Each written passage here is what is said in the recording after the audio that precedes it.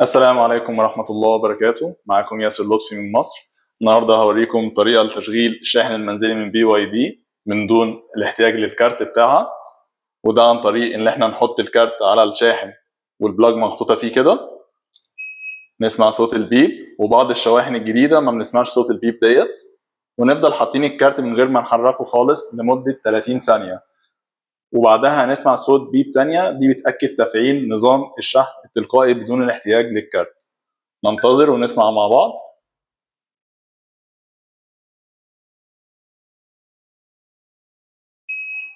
سمعنا صوت ال beep كده تم تفعيل نظام الشحن التلقائي.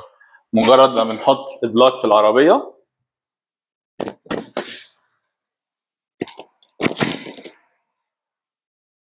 بنلاقي الشاحن ابتدى يشتغل لوحده تلقائيا من دون الاحتياج لأي كارت.